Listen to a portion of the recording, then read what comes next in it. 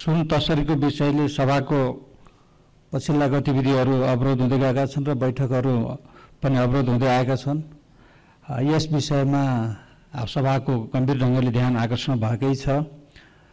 म सरकारको समेत यस विषयमा गम्भीर ध्यान आकर्षण गराउँछु र आवश्यक पहल लिनको लागि पनि आग्रह गर्दछु।